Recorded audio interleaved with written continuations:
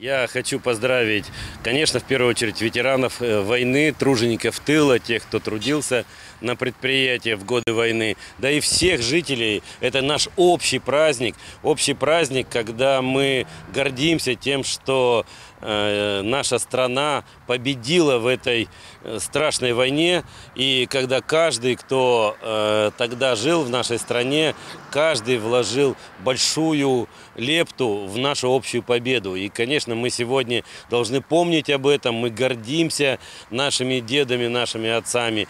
И, э, конечно, каждый раз в День Победы вот важно и бессмертный полк, важно, чтобы памятник еще раз посмотреть. Ну и самое главное, память вспомнить, кто в своей семье, э, как, э, как жил, как воевал.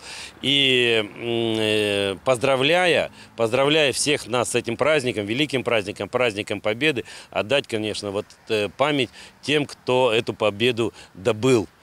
Э, и профсоюзы, э, я в первую очередь представляю профсоюзы, конечно, э, делают многое для того, чтобы организовать волонтеров для помощи ветеранам и труженикам тыла, для того, чтобы увековечить память тех мальчишек, которые тогда стояли на ящиках у станков, э, тех э, профсоюзных лидеров, которые принимали э, эшелоны с эвакуированными со всей западной части нашей страны. И вот человек приходил с, одним, там, с чемоданом, семья, их надо было расселять, надо было помогать с питанием, надо было помогать с местом работы, и всем этим занимались профсоюзы.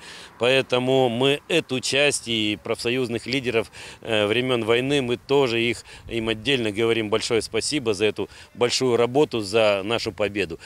Поэтому в завершение еще раз э, э, с Днем Победы, с праздником, всем счастья и здоровья.